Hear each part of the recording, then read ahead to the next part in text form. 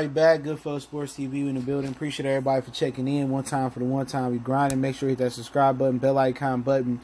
Won't miss another video. Let's get into hypothetical, man.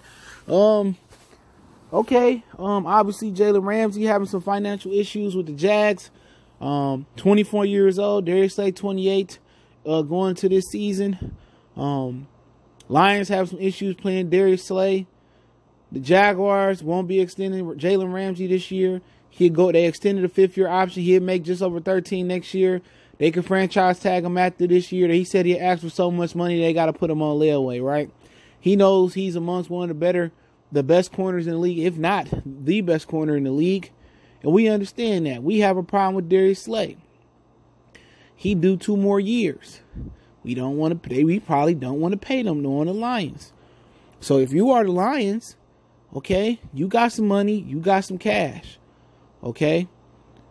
Do you trade Darius Slay to the Jacksonville Jaguars? You probably got to trade a third, a fourth, fifth, or probably not even that. Get Jalen Ramsey. But the thing about this deal is going to be fishy. Well, not fishy. It's that they have to hash out contracts before they respectively sign over to their team. So I, think Jags won't have a problem playing Darius Slay. They got a negotiated contract before the, trade goes through. Jalen Ramsey got a negotiated contract before that trade goes through. Now, this works for the Lions because, for one, you get an emotional leader. Two, you perhaps get the best cornerback in the draft. And three, the Jacksonville Jaguars get rid of a he- headache in Jalen Ramsey. Now, Jalen Ramsey did quit last season on them. A lot of the Jacksonville Jaguar defense quit because of Blake Bortles. He really let them down last year, especially in that Cowboys game. But you know why the Detroit Lions should do this? And I don't know if Jacksonville will per se do this, or do they, they may not have any intentions on playing Jalen Ramsey. You know, they may tear up Darius Slay contract and be like, okay, boom, we'll redo it. Okay, that might be cool for them.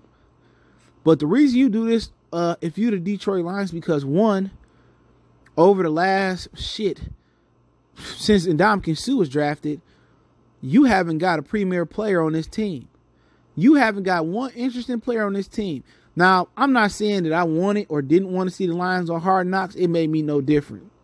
But one of the reasons the Oakland Raiders were picked over the Lions on Hard Knocks is because they got they got star power. You know one of the reasons why the Atlanta Falcons got to get the got the benefit of the call, the doubt on that call to Golden Tate a couple years ago on the goal line. They could have changed our season around. They got star power. Matt Ryan, Julio, the list goes on. The Lions don't have star power. Now that Ndamukong Suh left the team, now that Calvin Johnson left the team, now that Barry Sanders is going, what marquee star has the Detroit Lions got? Now, Bob Quinn haven't hasn't drafted a star. Kerryon Johnson, he got potential. He hasn't lured, lured a star in from free agency. Okay, he don't have Tom Brady. He don't have Bill Belichick. Check. He doesn't have Josh McDaniels. He doesn't have a winning culture.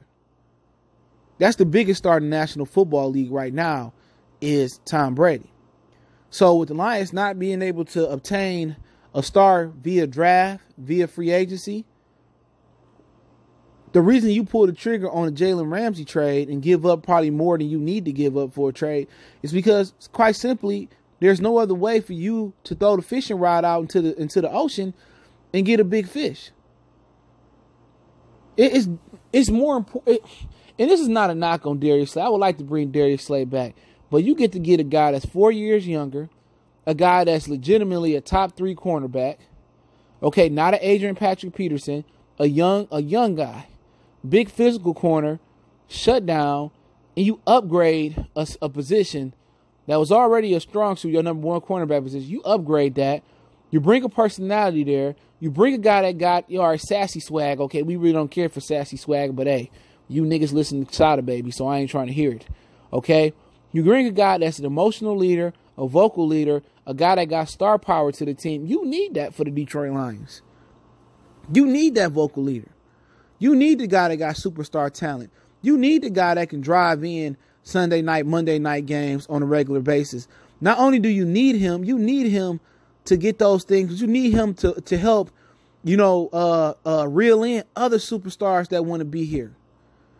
Because if you're able to get him here, and let's say Detroit Lions go, I'm just throwing a number out there. Let's say they go 11 and 5 and make it to the NFC Championship game. This is a total hypothetical. This is not my prediction. You know what? Then the building blocks start being there. They like the amino acids to, to, to nutrients, the building blocks for something great. Jalen Ramsey, boom.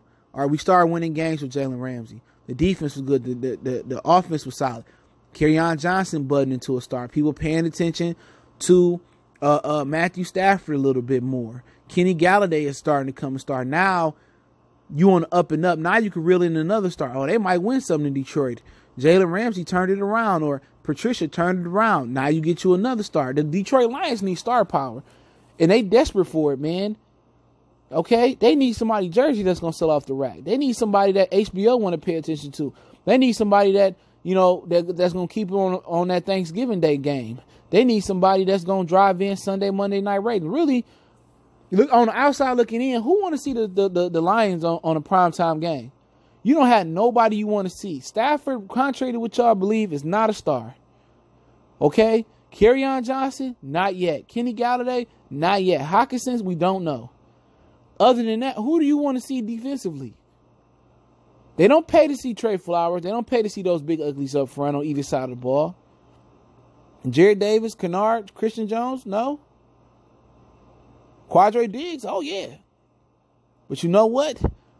You know, you know what? He need a running mate. He need an alpha male vocally, and that'd be Jalen Ramsey. You know, once they able to get the eyeballs on the set, you know what I'm saying? People start paying attention to the Lions.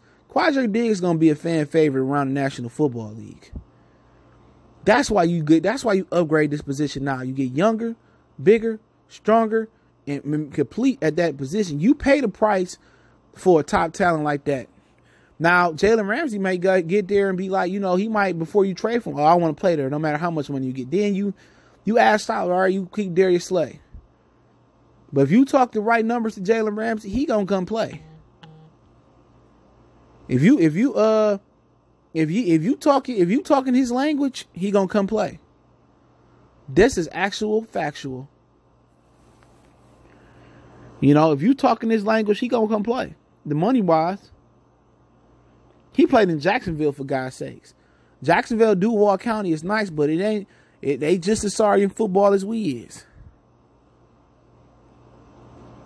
So you want to upgrade that if you can upgrade that position, but it's the key here is you want to get a big fish to lure in other big fish. Now you got you got Seeds Planet here, okay?